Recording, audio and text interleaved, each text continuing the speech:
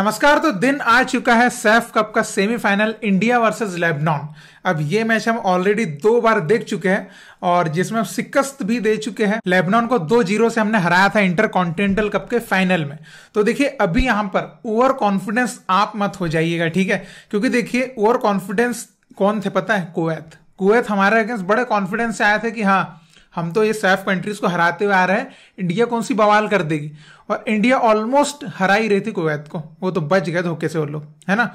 तो over confidence था उनका बहुत ज़्यादा। ये अलग ही था वो पहले से। क्योंकि देखिए, हमसे ड्रॉ करने के बाद वो जश्न मना रहे थे हमारे, है ना? बेंच के आके सामने वो, आपने देखा था उसका वीडियो वगैरह में।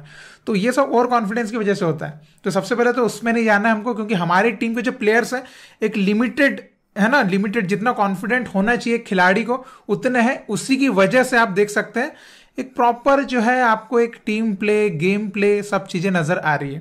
पहला तो है, अब लेबनॉन के अगेंस्ट आपने पिछले बार क्या देखा था? आपने पिछले दो मैच में क्या देखा? एक मैच हमारी फुल स्ट्रेंथ से नहीं खेले थे हम लोग तो हमने ज़ीरो ज़ीरो पे रोक लिया था उनको।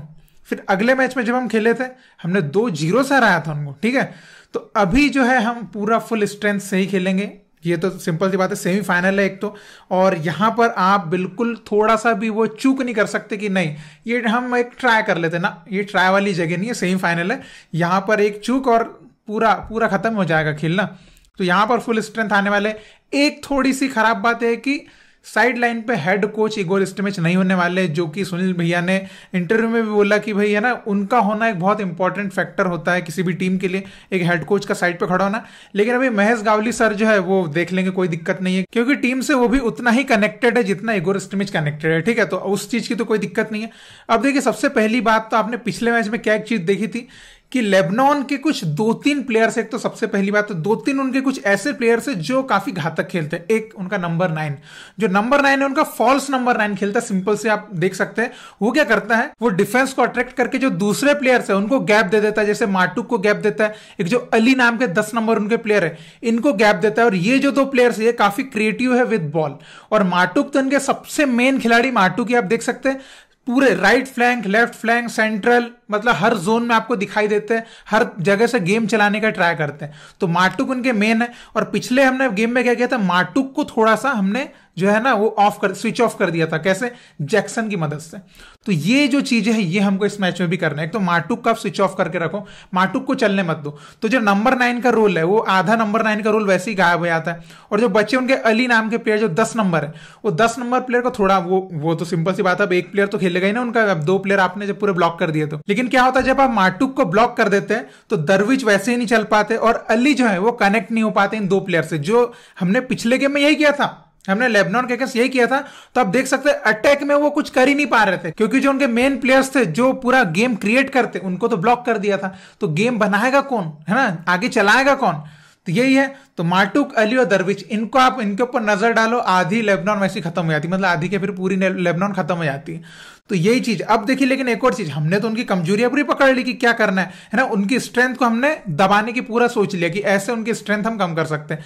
अब वो भी सोचेंगे सिंपल सी बात है, क्योंकि पिछला गेम उन्होंने खेला हमारे अगेंस्ट तो पता है उनको क्या हमने किया? हमारे विंग्स हमारे विंग्स लाजवाब है। अभी महेश, हमारा छांगटे क्या बोल अभी आसिक की पेस क्षेत्रीय स्कोरर तो उनको भी पता है कि इंडिया का अटैक अभी कितना अच्छा चल रहा है। और अभी पिछले जो हमारे गेम्स उन्होंने भी देखे होंगे। तो पता है कि इंडिया भाई वे full attacking football ball possession ये पूरा खेलते हैं। तो वो इस बार यही करेंगे कि भाई वो जो है ना, वो अपनी डिफेंस बहुत टाइट रखने वाले मैन मार्किंग करके रखेंगे इस बार। क्योंकि पिछले बार उन्होंने, हो सकता है कि वो उतना पहले से प्रिपेयर नहीं थे, लेकिन इस बार पूरा प्रिपेयर है क्योंकि एक गेम खेल चुके हैं। तो डिफेंस तो टाइट करने वाले हमारे मैन मार्क करने वाले, हमारे विंग्स के ऊपर वो कुछ ना कुछ सोच के आएँगे। कॉम्पैक्ट खेलने वाले हैं, ये तो सिंपल सी बात है क्योंकि कॉम्पैक्ट नहीं खेलेंगे तो बीच से घुस जाएँगे हम लोग। लेकिन उनको पता है कि हम विंग्स के थ्रू बहुत डेंजरस हो चुके हैं। तो हमारे जो विंग्स से अटैक होने वाले, इसको रोकने के लिए कुछ तो प्रिपेयर करके वो आने ही वाले और यही देखने वाली बात है कि इसमें कैसे हमारे विंगर्स रोकने वाले क्योंकि पिछले गेम में वो बिल्कुल समझ ही नहीं पाया था और आपने देखा, देखो, हम एरियल पे उतना अच्छा नहीं जाने वाले, आपको पता है। हम जाएँगे काय पे? हम ड्रिवन क्रॉसेस के थ्रू ज़्यादा बेटर करने वाले तो हमने पिछले गेम में भी देखा, हमको ड्रिवन क्रॉस पे जो पहला गोल मिला था तो ये चीज़। लेकिन हाँ एरियल पे भी हमको कोई दिक्कत नहीं है, लेकिन ज़्यादातर हम ड्रिवन क्रॉसेस या वन टू प्ले के थ्रू उनके फाइनल थर्ड में ज़्यादा अटैक्स हम क्रिएट करेंगे, ये उनको भी पता है। और हमको भी पता है। तो इस मैच में यही चीज़ के लिए प्रिपेयर होकर आएँगे और हम इस मैच में कितना प्रिपरेशन से ये जाएँगे कि कैसे हम इस बार लेबनान को रोकने वाले क्योंकि पिछले बार जो गलती उन्होंने करी थी, वो इस बार तो दोहराने वाले हैं नहीं सिंपल सी बात है। तो इस बार वो बेटर प्रिपरेशन के साथ जा रहे हैं हमको भी डबल बेटर प्रिपरेशन के साथ जाना है इस मैच में। और देखिए लाइनअप की बात करते हो देखिए लाइनअप अगर फॉर्मेशन पे जाते हैं ना तो हम फोर थ्री थ्री से खेलें फोर टू थ्री वन से खेलें या फोर फोर टू से भी खेलें। कोई दिक्कत नहीं है, हम तीनों फॉर्मेशन के साथ इजीली लेबनान को रोक भी सकते हैं और लेबनान के ऊपर बहुत अच्छे अटैक भी क्रिएट कर सकते हैं मिड में भी अच्छा कंट्रोल कर सकते हैं, कोई दिक्कत नहीं है, ठीक है? और अगर आप कैसी लाइनअप की बात करें तो देखिए, मेरी अगर आप प्रेडिक्शन पूछे लाइनअप के लिए तो पिछले गेम में जो हमने खेला है ना सेम टू सेम वैसे ही खेल ले कोई दिक्कत नहीं है। पिछली जो लाइनअप हमने कुवैत के अगेंस्ट खिलाई है सेम लाइनअप अगर आप खेलते हैं कोई दिक्कत नहीं है।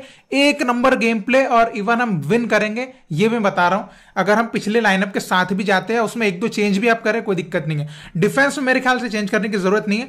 आगे अगर आप देखना चाहे, देख सकते हैं, लेकिन मैं नहीं समझता कि कोई करना चाहिए। Same to same against Kuwait जो खेला सेम टू सेम लाइनअप के साथ जाओ एक नंबर भाई ए वन लाइनअप है, कोई दिक्कत नहीं है, ठीक है? तो ये मेरा एक है कि मैं ऐसा समझता हूँ कि ऐसे खेलना चाहिए। और एक और चीज़ है कि हमको स्टार्टिंग से ही अटैकिंग फुटबॉल और हाई प्रेसिंग फुटबॉल खेलना है। लेबनान को एकदम, हमको है ना, एकदम डरा के रखना है। ये बात है स्टार्टिंग से एकदम अटैकिंग और फुल ऑन मतलब फुल ऑन प्रेस करके खेलना पड़ेगा भाई। लेबनान देखना शुरू में ही गोल खा लेगी। ये एकदम सही बात है।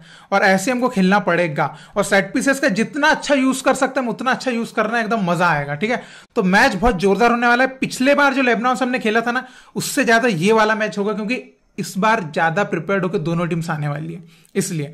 और देखिए, इस मैच में रहीम अली भी नहीं है। तो रहीम अली की जगह अब देखिए, अक्सर क्या होता है कि छेत्री वगैरह को बाहर करके रहीम अली को ट्राई मार देते हैं। तो अभी रहीम अली नहीं है तो मे भी लिस्टन कुलासो को भी ट्राई किया जा सकता है। मतलब ट्राई करने के लिए लिस्टन कुलासो को भी एज ए स्ट्राइकर ट्राई किया जा सकता है एज ए सब्सटीट्यूट ऐसा मुझे लगता है। बाकी देखिए, बाकी तो ऐसा है कि कोई भी अदर प्लेयर्स को भी as a striker substitute try कर सकते हैं। हो सकता है कि लास्ट तक छेत्री को निकाले ही ना। कुछ भी हो सकता है।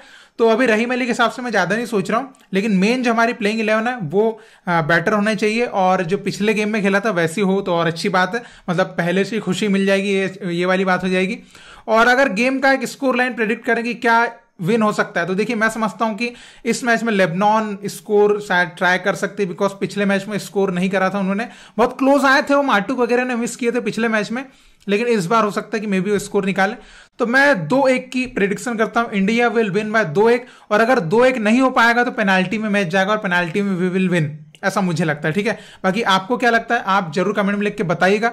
और इसी तरह इंडियन फुटबॉल को सपोर्ट करते रहिए। बहुत बहुत शुक्रिया वीडियो देखने के लिए। जय हिंद, जय भारत।